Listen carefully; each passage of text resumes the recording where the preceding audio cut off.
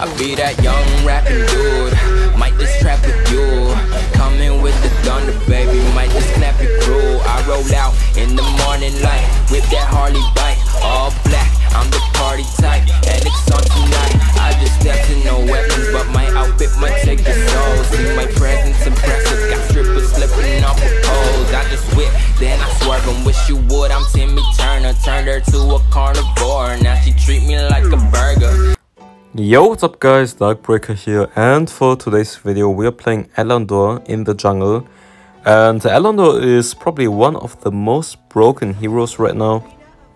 Super strong in the jungle, highly picked in the APL, high win rate, high pick rate. He's just insane. I started playing Elandorr now, and I have a 90% win rate on Elandorr recently. And he's just like if you watch my stream, I played I think Elandorr like three times solo queue, and each time it's just hard carry. You will most of the times if you play a good Elandorr, you will have like 40% damage, maybe even 50% damage, and then a score of like I don't know 15-2 or something like that. And you can see my ping.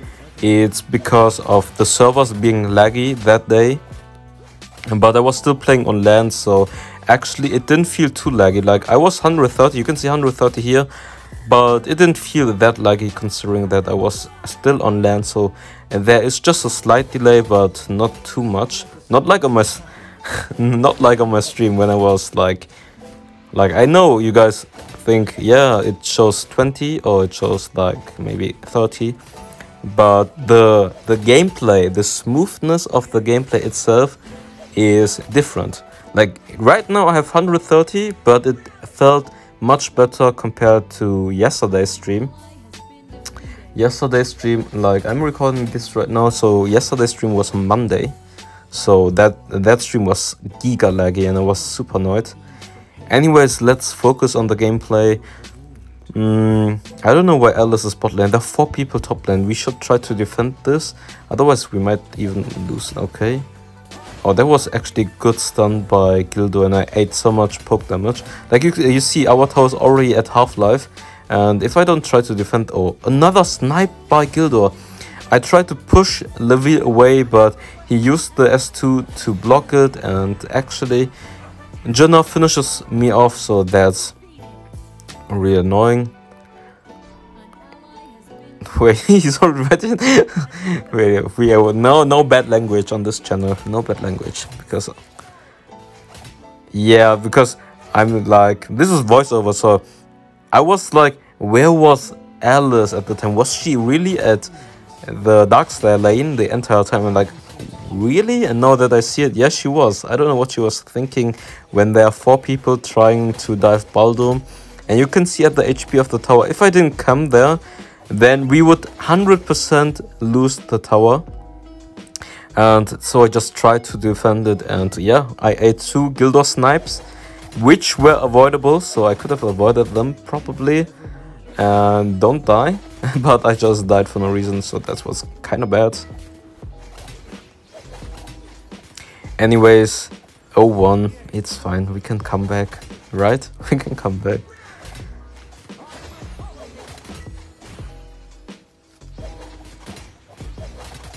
Like the thing is in the jungle, you wanna spam your S1 and port back.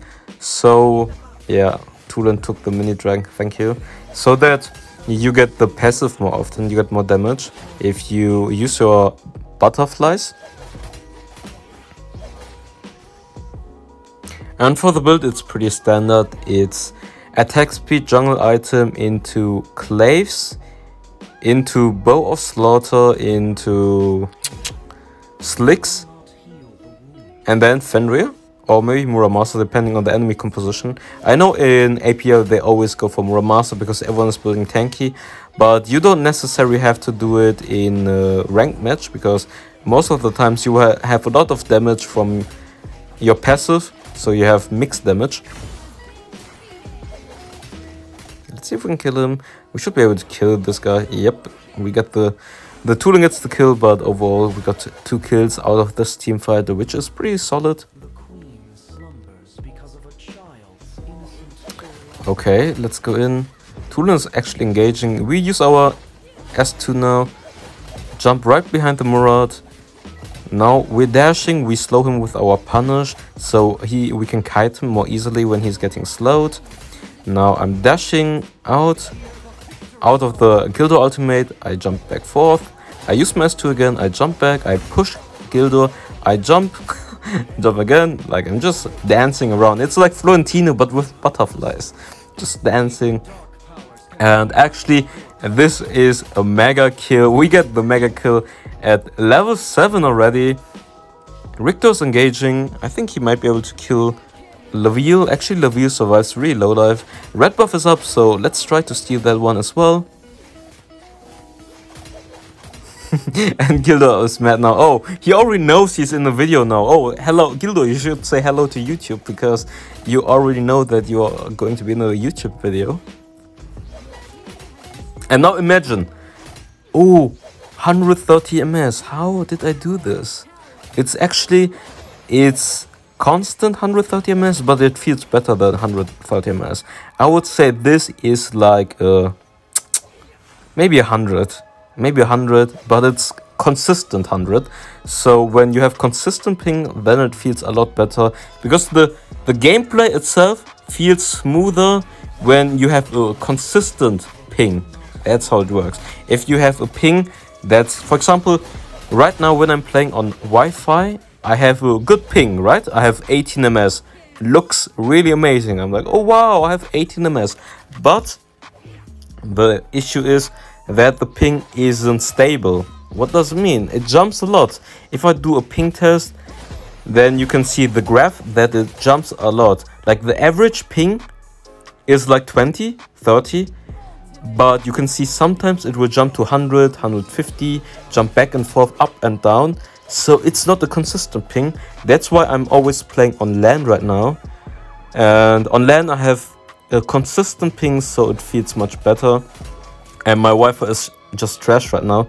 So when i stream i need to change my setup because playing on wi-fi is not possible. It's just too laggy and it's not enjoyable honestly for me when I'm like when I'm lagging I hate lagging so much. I hate lagging so so much.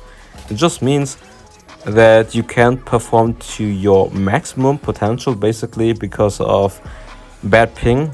And I know you guys will say oh I always play on bad ping. But you can see right now I playing I play on bad ping but it still feels fine. I was playing that that morning I was spamming um, with bad ping and I didn't have any issues because it was consistent bad ping. Do you realize consistent versus spiky ping? Good spiky ping is bad. It can show you, you can have 30 ping. It shows 30, but if it's spiky and it feels laggy, then it's not enjoyable. And right now, for example, I have 130 ping, but it's still more enjoyable than on yesterday's stream. Because people write, oh, Darkbreaker, you always search for excuses. No, it's not an excuse. Like, right here, you can see 130 ms. I'm not excusing anything. But if I have bad ping and it feels bad, then I will just say it. Uh, I'm the type of person who likes to say immediately my opinion about something. And if you guys don't like it, then too bad. Too bad.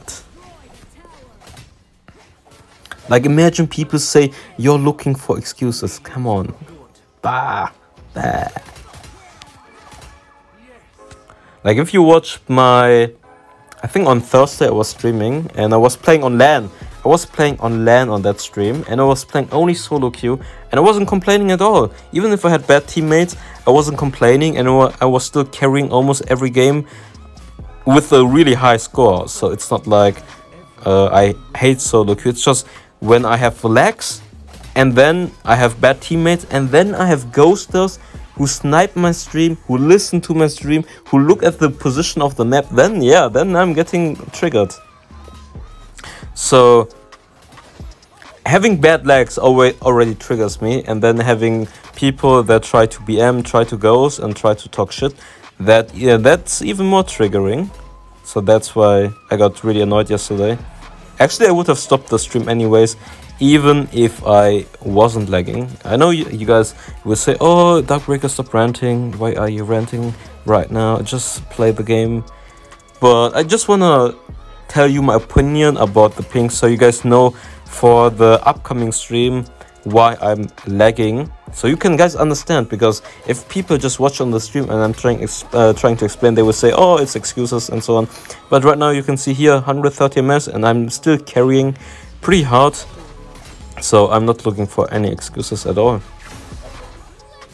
Right here I'm just jumping in because I have bow of slaughter anyways so I can just out sustain no matter what that's what I mean. You press bow, you can dive people, you can from 0 to 100% immediately using bow of Slaughter for Cacophony, for Laville and so on. So that's just absolutely broken. But anyways, for the upcoming stream, I will probably, I will try to stream via LAN. So I'm using LAN on my phone and then try to use Elgato. No, not Elgato anymore because with Elgato I can't use LAN. So I would probably try to set up AirServer so that I can mirror my game screen via Wi-Fi. Okay, I probably die. Yeah, I probably die. 15-2 anyways 15-2 mega kill and another uh, you're just farming so many triple kills.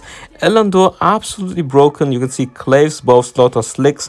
And last item is going to be fenrir properly because i'm so fat and uh, you, your damage output just increases so much when you are using fenrir. I mean i'm fat anyway so it doesn't matter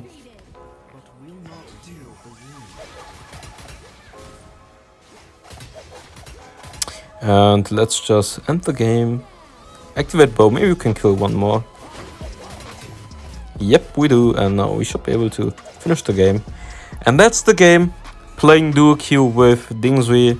And you see Elandorr jungle absolutely broken. Even even with ping, even 130. You can say 130 ms. The server was super laggy on the weekend. So everyone was lagging.